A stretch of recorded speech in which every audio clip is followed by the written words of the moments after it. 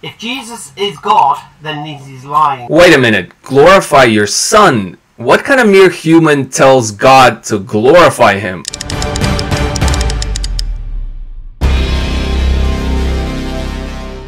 I'm here now to debunk uh, Christianity in less than a minute. And to do so, I'll need my first witness, Jesus of Nazareth. Okay, so Jesus teaches in the Gospel of John that the only true God is the Father.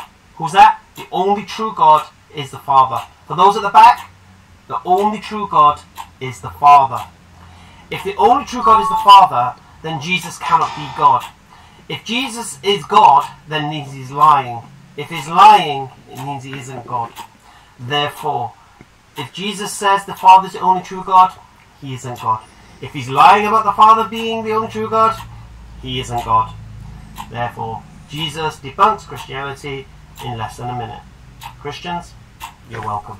Ah, the Muslim debate specialty, false premises and false dichotomies. So this is a very popular verse quoted by Muslims and Unitarians who out of ignorance refuse to understand the doctrine of the Trinity, even though scripture clearly confirms it. This verse comes from a famous prayer by Jesus, and instead of ripping John 17.3 out and isolating it, let's try something different, like reading it in context. John chapter 17, when Jesus had spoken these words, he lifted up his eyes to heaven and said, Father, the hour has come. Glorify your Son, that the Son may glorify you. Wait a minute, glorify your Son? What kind of mere human tells God to glorify him? Oh, that's right, because he's not a mere human. Let's continue. Since you have given him authority over all flesh to give eternal life to all whom you have given him. Authority over all flesh and the ability to give eternal life? Man, sure sounds like a divine being. And this is eternal life that they know you, the only true God, and Jesus Christ, whom you have sent. The only true God and Jesus Christ, whom you have sent? It sure sounds like Jesus is affirming his oneness with the Father.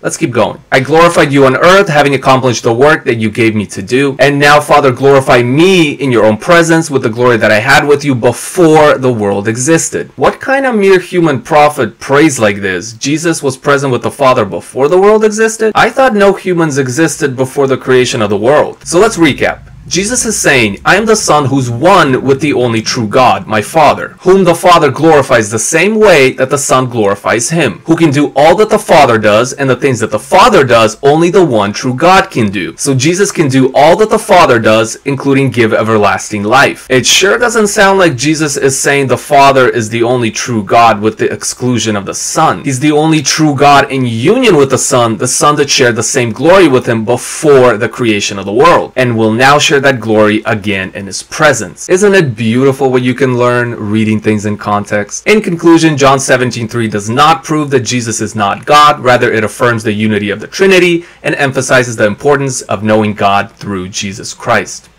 If you like the content, like, share, comment, subscribe for more, and follow my social medias in the description below. I'll see you guys next time, and may the grace of our Lord Jesus be with you.